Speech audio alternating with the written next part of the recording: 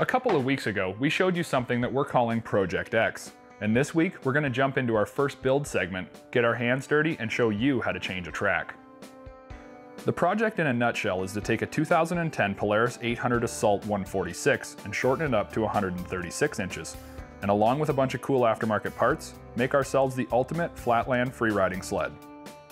For today's segment, I'm going to be tackling the most important and technical part of this build, the removal of the 146 inch mountain skid, the mountain track, and the mountain drivers, and I'll go ahead and replace those with the 136 inch versions.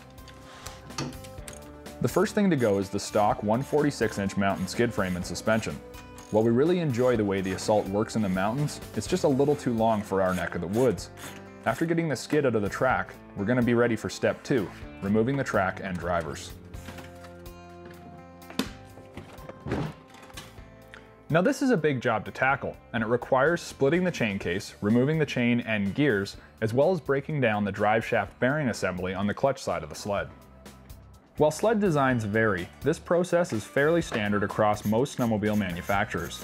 Now one thing to think about while I'm doing this, you might not want to change the length or pitch of your track like I'm doing, but you may be wondering if you can equip your sled with either a deeper or shallower lug, an aggressive on-trail performer, or a pre-studded ice track.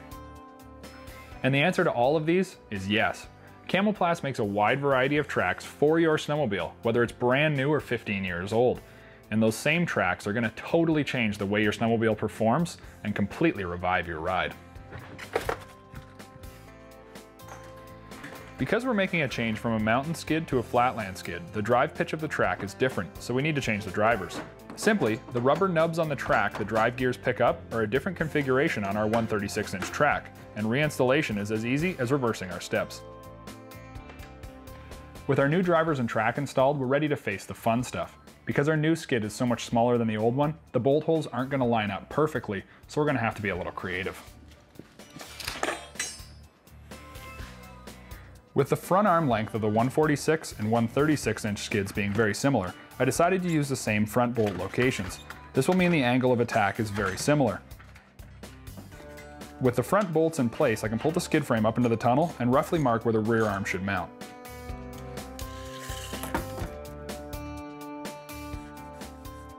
The Assault's designed to have a 146 inch skid, however the tunnel is the same as a switchback, so we're going to drill out the riveted rear arm bracket and go ahead and remount it in our new location. We took measurements from a current IQ chassis with a 136 inch skid frame, so we know our measurements are correct, and we can check back with that sled as our guideline.